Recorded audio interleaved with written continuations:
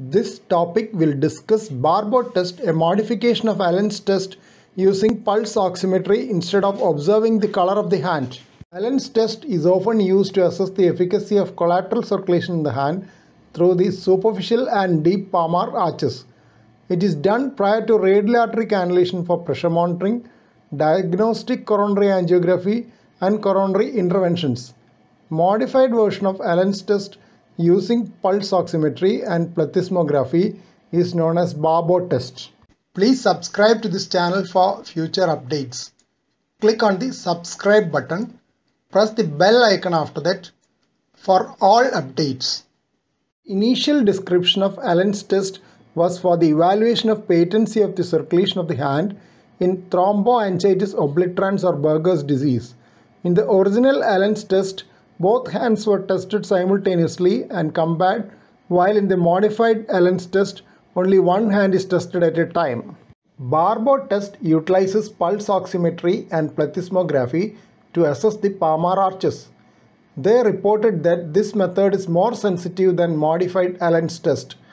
Using their method, only 1.5% of patients were not suitable for radial approach, while modified Allen's test excluded 6.3%.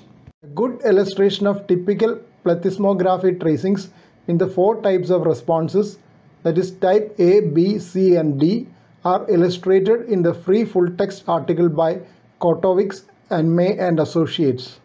Patients with type D response of complete absence of plethysmography tracing at 2 minutes of radial compression should not undergo transradial catheterization of that wrist. In Barbeau test, pulse oximeter is placed on the ipsilateral thumb and the plethysmography tracing noted. The radial artery is then compressed for occlusion and change in tracing noted. Pulse oximeter reading is also noted. If constant reading is noted, it is positive pulse oximetry and if no reading is found, it is negative pulse oximetry. Response of plethysmography is classified into four types. Type A, there is no change in plethysmography tracing throughout the 2 minutes of occlusion. Type B, there is an initial drop in the amplitude which recovers fully at 2 minutes of occlusion. Type C, tracing becomes a straight line on radial artery occlusion but recovers partly to a low amplitude tracing at 2 minutes of occlusion. Type D, tracing becomes a straight line on radial artery occlusion and remains so throughout. There is uninterrupted arterial filling during radial occlusion in types A and B.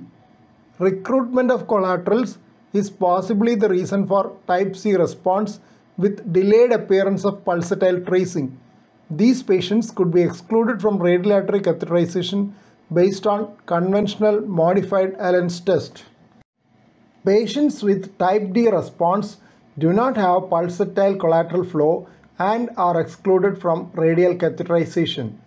Authors reported that using this method, they did not have a single case of hand ischemia in over 7,000 patients undergoing transradial procedures at the institution.